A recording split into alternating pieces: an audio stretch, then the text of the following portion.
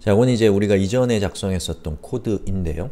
음, 객체의 내부는 이 클래스에 들어있고 그 객체를 사용하는 입장은 여기라고 할 수가 있습니다.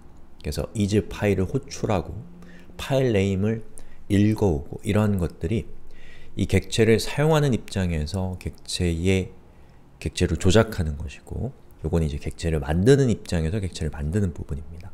그래서 아까 그 이미지를 통해서 보셨던 것처럼 이 객체의 내부에 존재하는 이 instance 변수라든지 이런 method라든지 이러한 것들을 외부에 노출시킬 것인가 아니면 내부적으로만 사용하게 할 것인가 라는 것을 결정하는 것이 바로 access modifier, 어, property visibility라고 하는 겁니다.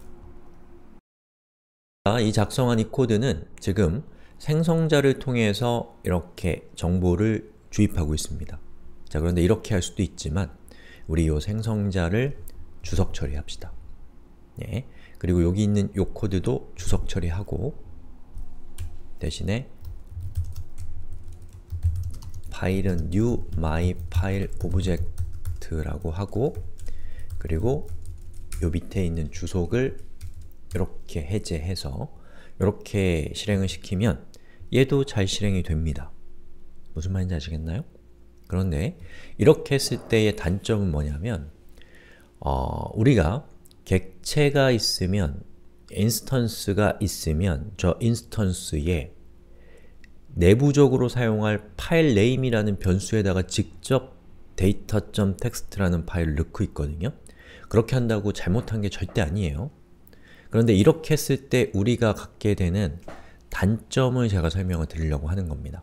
만약에 이 객체를 만들고 있는 여러분이 이 객체의 이 객체의 내부 상태인 파일의 이름을 지정하는 시점에서 이 파일이 존재하는지 존재하지 않는지를 체크해서 존재하지 않는다면 이 프로그램을 그냥 종료시켜 버려서 그 다음 명령을 아예 실행을 못하게 하고 싶다 라고 하는 그런 필요성이 있을 수도 있다는 것이죠. 대충 무슨 말인지 아시겠나요? 자 그런 경우에 우리가 변수의 변수를 직접적으로 이렇게 값을 세팅을 하면 그걸 할 수가 없습니다. 그런데 이 위에서 보셨던 것처럼 생성자를 사용하면 그걸 할 수가 있어요. 한번 해볼게요.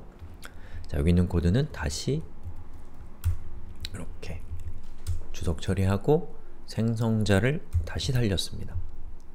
자, 어떻게 하면 되냐? myFileObject라는 그 클래스가 호출될 때 이 값이 주입되잖아요? 이 값이 주입된 이후에 아니면 그 이전일 수도 있겠죠.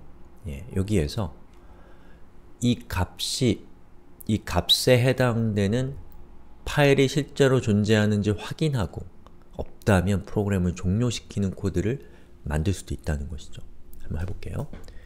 어, 저는 여기에다가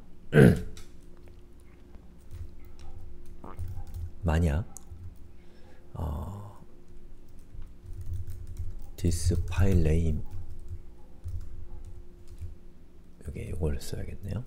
만약 파일 exists 파일이 존재하냐 라는 것을 확인하는 php가 제공하는 함수예요. 그래서 여기에다가 느낌표를 치면 존재하지 않는다면 참이 돼서 그때의 die, die는 프로그램을 종료시키면서 저 입력값으로 제공된 내용을 화면에 출력한다는 얘기입니다. There is no file 그리고 파일의 이름을 적읍시다. This file name 이렇게 자 그리고 실행을 시켜보면 저는 data.txt라는 파일이 있거든요. 이렇게 그래서 얘를 실행을 시키면 음, 뭐 요게 실행이 되고 그 다음에 요걸로 인해서 이렇게 어, 잘 동작을 한 거예요. 결과적으로. 자 그런데 만약에 제가 없는 파일을 넣고 실행을 시키면 보시는 것처럼 이 조건문에 걸리면서 there is no file 그리고 파일의 이름이 이렇게 화면에 출력이 되는 것이죠. 자, 뭘 했는지 아시겠죠? 즉, 우리의 코드에서 이전과 지금의 차이는 이전에는 어떻게 했나요? 보시는 것처럼 이렇게 파일의 이름을 직접 지정을 했죠. 아, instance 변수에 직접 액세스했습니다. 그렇게 했더니 어떤 단점이 생겼냐면 instance 변수가 세팅되는 순간에 들어오면 안 되는, 존재하지 않는 파일명이 들어왔을 때 그것을 거절할 수 있는 방법이 없다라는 것입니다. 즉, 여기 있는 이 데이터가 오염되었는지 오염되지 않았는지를 체크할 수가 없다라는 것이죠. 물론 파일에 이름이 없다고 오염된 건 아니지만 예. 하지만 우리가 생성자를 썼더니 보시는 것처럼 이렇게 들어온 데이터가 어, 존재하는지, 존재하지 않는지를 체크할 수 있는 기회를 가질 수 있다는 겁니다. 무슨 말인지 아시겠나요? 예. 그렇게 해서 우리가 이 file name을 사용자가 직접 다루지 않고 이 생성자로 통해서 들어온 이 데이터가 결과적으로 파일의 name이 되도록 프로그램을 바꿨습니다. 자, 이 상태에서 사용자가 음, 파일 네임을 뭐 역시나 없는 파일로 이렇게 막 바꿔버리게 하는 게 지금 우리의 코드상으로는 가능한가요? 가능하지 않은가요? 가능합니다. 왜요? 물론 그 생성자 차원에서 입력값을 받고 체크하는 것도 가능하지만 엄연히 이 객체는 내부적으로 file name이라는 instance 변수를 쓰고 있고 이 객체 외부에서 file name 값을 직접 요걸 통하지 않고 file name을 통해서 직접 파일의 이름을 세팅하는 것은 자기 마음인 거죠. 예. 그럼 우리가 이러한 것을 못하도록 하는 방법이 있어요. 즉, 파일 네임의 값을 객체 외부에서는 세팅을 못하도록 규제를 하는 방법이 있습니다. 그게 바로 access modifier 또는 property visibility라는 겁니다. 자, 우리가 하려고 하는 것은 지금 파일 name이죠. 파일 name 이라고 하고 이 파일 name 앞에다가 private이라고 선언을 해주는 겁니다. 자, 그렇게 되면 어떻게 되는지 한번 볼까요? 자, 이렇게 파일의 이름은 제대로 된 파일의 이름을 하고 그리고 여기에 객체가 생성된 후에 파일 네임을 직접 지정하려고 하는 시도가 있을 때 어떻게 되는지 봅시다. 자, 보시는 것처럼 cannot access private property라고 되어 있습니다.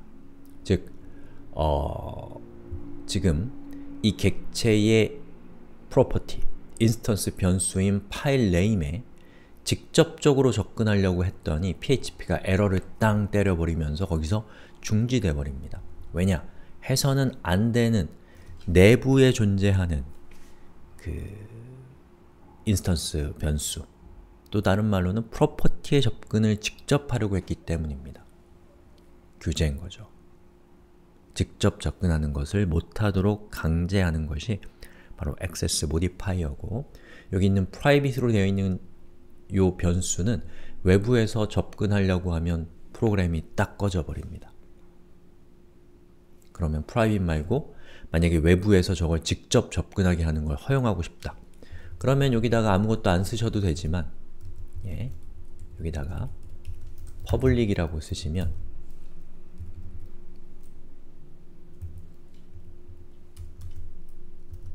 외부에서 접근하는 것을 이제 허용하게 되는 거예요.